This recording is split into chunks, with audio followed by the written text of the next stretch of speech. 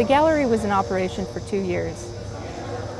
And it was, um, I think I made the rent or broke even maybe twice in two years. Art galleries are hard. And I'm not an experienced businesswoman.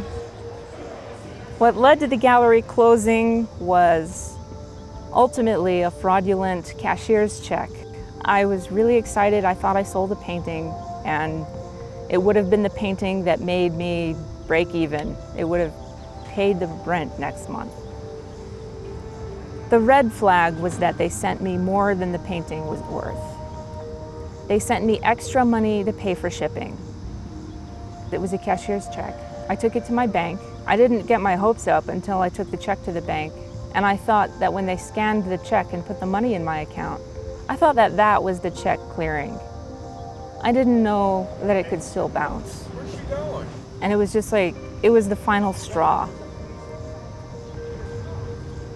When I got conned, my, the thought that went through my head was, I'm gonna blow my head off at the morgue that's that's where my mind went. That was the state of mind I was in. So I was still going to counseling and I opened up to my I opened up to my therapist about what I was thinking. The therapist sent me back to Ward 7. Um, I went of my own free will, sort of. What they basically told me was, you can you can go of your own free will, or we can get a court order. So I went voluntarily, but it was it was voluntarily, but it was like do it or else. I didn't know that I needed it, but I did. And while I was there, I made friends with, of course, more veterans who were patients there. And I think I had three days to get out of the gallery. Anyway, one of those veterans I got out with when we got out on the same day, he came to the gallery and he immediately started helping me move out. He made it easy. I couldn't even be upset because something, an experience I was going through that was so hard, my fellow veterans stepped in and made it, made it as easy as it could be. My fellow veterans are the ones who have ultimately helped me.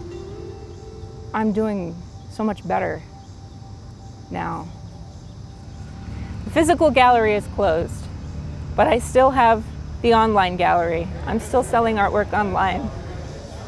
That art gallery that I opened was something beautiful that I could give back to the community. I wanted to be part of the community. And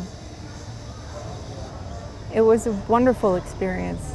And I got to work with other veterans and other artists and support great causes.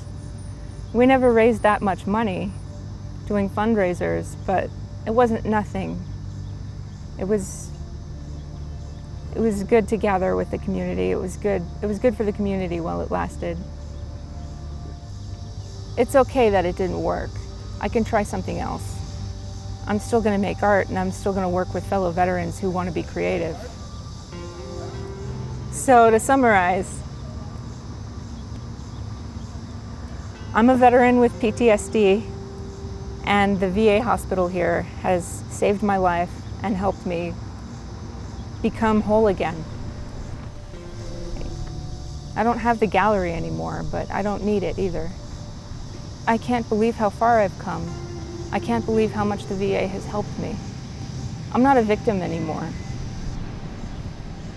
There's something there. There is hope.